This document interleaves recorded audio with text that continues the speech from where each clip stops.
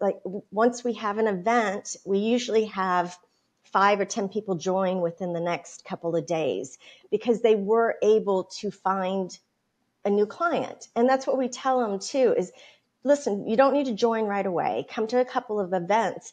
Once you get a client, that'll pay for your membership dues, then join.